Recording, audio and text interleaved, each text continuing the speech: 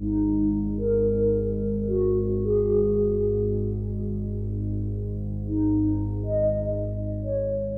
sun sets behind Cerro Paranal in the Chilean Atacama Desert. While astronomers get ready to observe with ESO's very large telescope, nature prepares for her own grand display. As night falls over the desert, the southern sky reveals its nocturnal beauty, leaving the spectator in silent amazement. Some people, however, don't just stare at this spectacle. With great skill, they record these unique moments for everyone to see, they are the photographers of the night.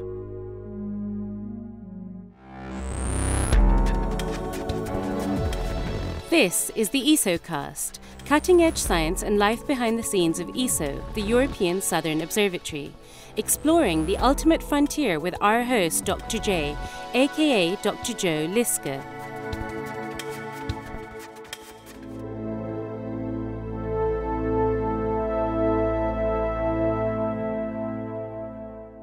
Anyone who has been up at night in a remote, high place such as one of ESO's observatories in Chile may have been lucky enough to experience the splendid view of the myriad of stars shining brightly from the heavens. It is both a dream and a challenge for a photographer to capture an image of this incredible view. Today we will focus on three ESO staff members who, during their free time, produce outstanding astrophotography.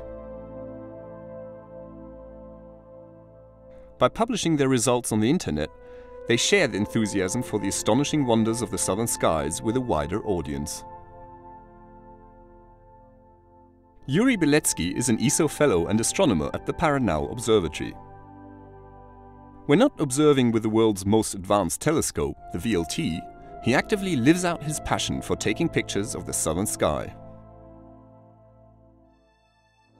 I like the night sky, I like stars, and uh, the night sky is so beautiful, you can see millions of stars, and uh, astrophotography is the best way to show the people uh, what, what actually stars are. So, taking this picture, I'm sharing my passion with the people and uh, I'm showing the sky them.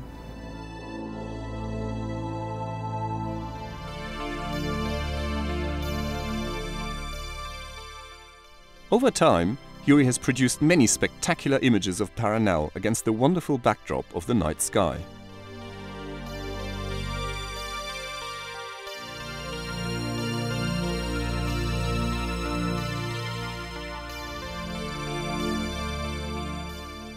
A laser beam shooting out of one of the VLT's unit telescopes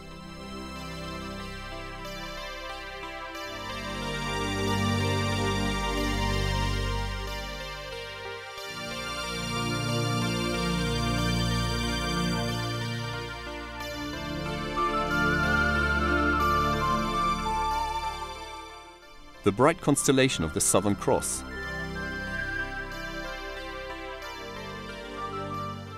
The Pipe Nebula, with its picturesque dust lane crossing the Milky Way.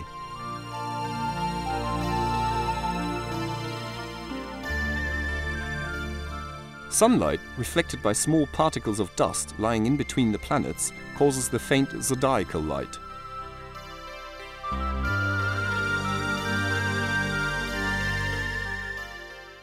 My plans, I would like to take more images. I like to share my passion with, with other people. I would like to show them the real beauty of the night sky and to show them the real beauty of the nature of Chile and the earth.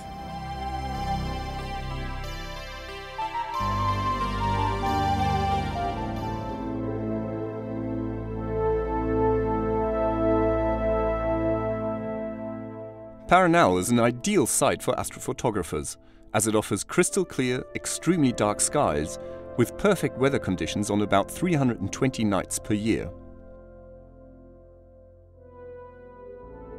Gerhard Hüdepohl, an electronic engineer at Paranal, knows about the photographic benefits of the VLT's site. Gerhard, who is also a renowned photographer of Chile's landscape, combines the beauty of the Atacama Desert with the shining Milky Way in a unique way.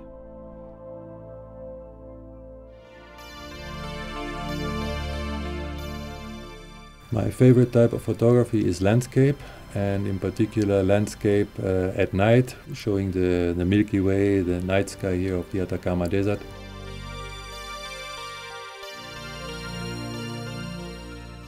And here in Paranal, then I have the possibility to have the telescopes as a nice foreground and the, the stars and the night sky as a background.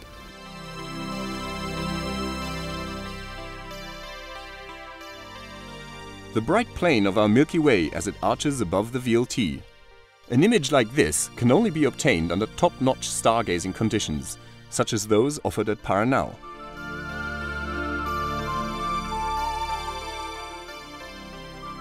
Like Yuri, Gerhard has also produced a spectacular series of images showing the VLT with its laser beam and the night sky.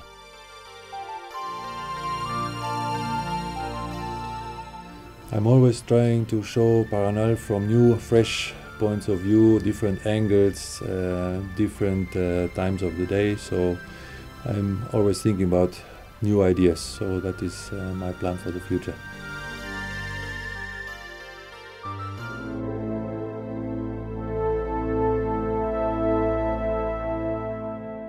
Astrophotography is very demanding. The photographer has to stay out in the dark and in the chill of the night for many hours. Sometimes it can take several nights of painstaking work in these tough conditions to obtain just one image, and the equipment must always function flawlessly.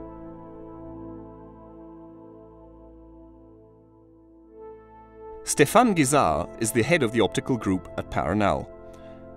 His astrophotography benefits from his professional expertise as an optical engineer specializing in telescopes.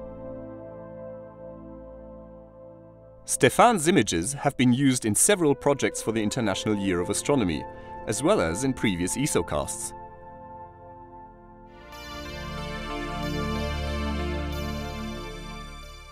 I take uh, pictures of uh, galaxy and nebula with a telescope, but uh, I also like to take uh, wide field images of the sky with a terrestrial foreground.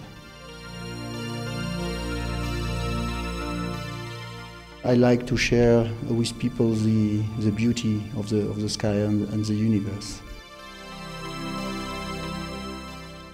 This photographic mosaic of the central parts of our galactic home is just one example of Stéphane's work.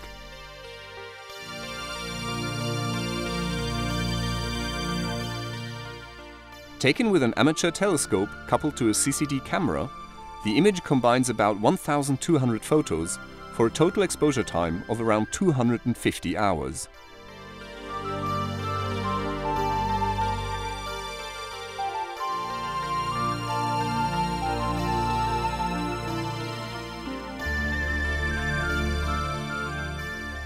Stéphane has also produced a spectacular series of time-lapse sequences at the Paranal site. Producing such sequences is quite a challenge, as the images must be taken at regular intervals and all the parameters must match perfectly to obtain the sensation of the moving firmament.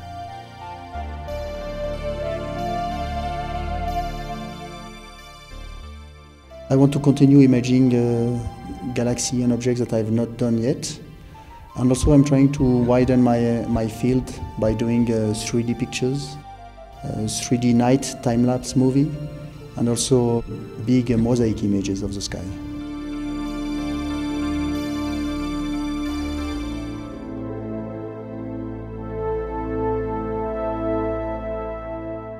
There's no doubt that Yuri, Gerhard and Stéphane will continue to produce stunning images of the starry skies above Paranal. The wonderful quality of the images is a testament to the splendor of the night sky at ESO's Paranal Observatory.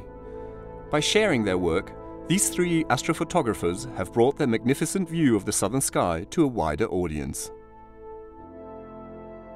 This is Dr. J signing off for the ESOcast. Join me again next time for another cosmic adventure.